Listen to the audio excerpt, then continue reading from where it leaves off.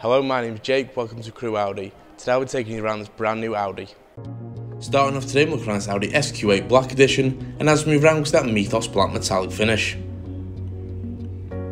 Moving around to the rear of the vehicle, that sports is continued throughout and really finishes the SQ8 off nicely.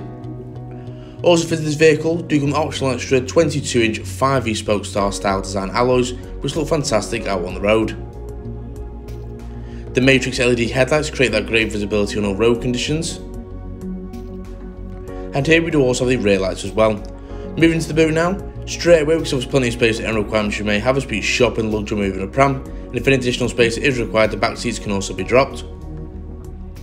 Moving to the rear interior now, here we can see we can fit up to 3 passengers, with your two access points on the outer seats, a drop down armrest, and a climate control setting just for the rear passengers as well.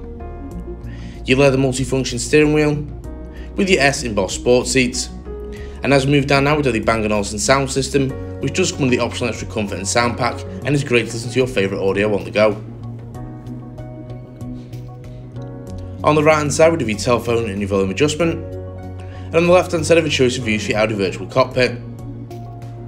This can be set to navigation, connect to your telephone, your favourite radio station, or general vehicle data can all be decided by a preferred view.